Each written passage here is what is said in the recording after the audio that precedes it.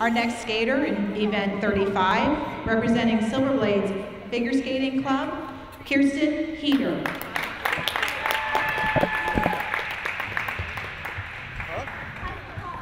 I know.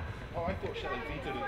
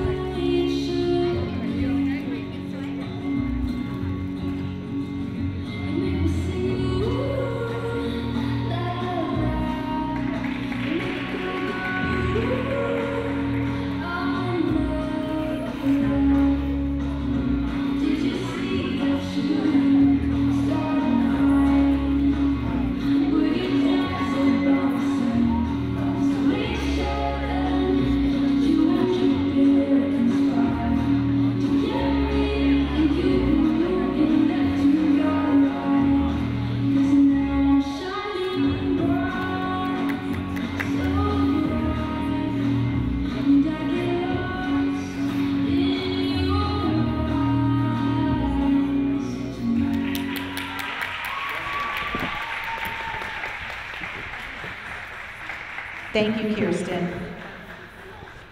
Our third skater for event 35, representing Silver Blades Figure Skating Club, Samantha